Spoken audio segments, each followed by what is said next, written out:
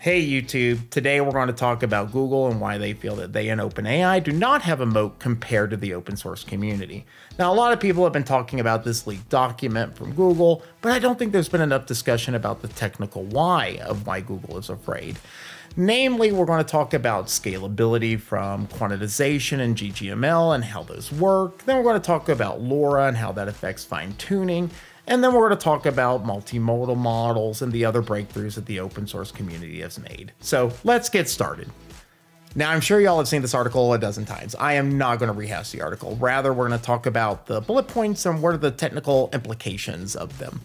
So, the first thing that Google talks about is the scalability problem, right? These large language models require a lot of resources, and that's because when we're dealing with machine learning problems, we're typically training them and using them it's 16-bit and 32-bit floating point.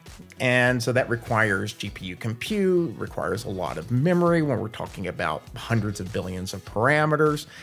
And it just it makes it very limited the, the amount of hardware that you can run them on. But the open source community already has access to things like 8 bit quantization, where zero point is probably the most common, and now even 4 bit, 3 bit, and 2 bit quantization which what that means is we're taking these floating points and we're reducing them to integers. So let's let's talk about that for a moment and see how it works. So remember, when we're dealing with machine learning, what we're dealing with is specifically 16-bit and 32-bit floating point values, specifically between the weights on our network here. And the weights are what are connecting the neurons. So what we can do is, for example, if we have a 16-bit floating point vector, we can apply 8-bit quantization as described by Tim Dettmers in his paper LLM 8-bit or int 8. So there are two common methods that we can apply zero point or abs max. And in the case of abs max, you constrain the values between negative 127 and 127, and you find the maximum value of that vector, which in this case is 6.1. You divide 127 by that value and you get a scaling factor. You multiply by that scaling factor, and then you just round to the nearest integer. So there are some concerns with this method, specifically what you have are called outlier features, and that's where we believe that the emergent properties of the network come from. So what are emergent properties in this case? Well, in the case of the transformer model, it learns how to deal with uh, looking at the context a little bit better, right? And this emergent property happens a lot more dynamically the larger the network is.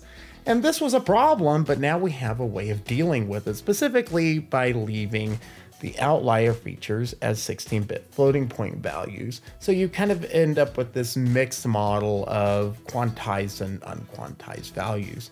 So let's get back to the paper.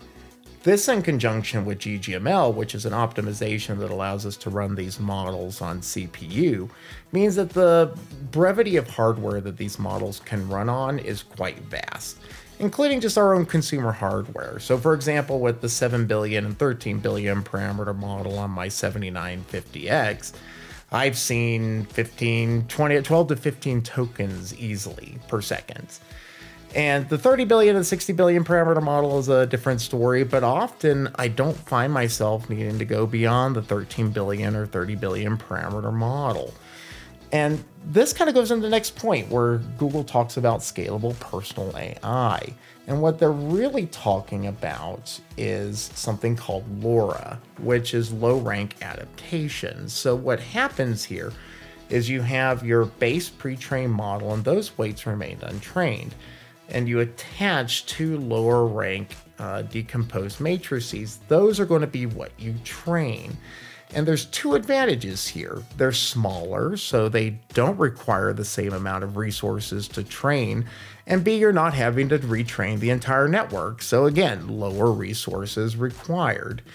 And so this means that on even consumer hardware, we can train these models on our personal data sets. So this leads into the next point where large language models aren't more capable in the long run, they're hard to train from scratch, and data quality scales better than data size. So when we were talking about moving from GPT-4 to GPT-5, one of the big talking points was that the data quality really did outweigh the volume of the data.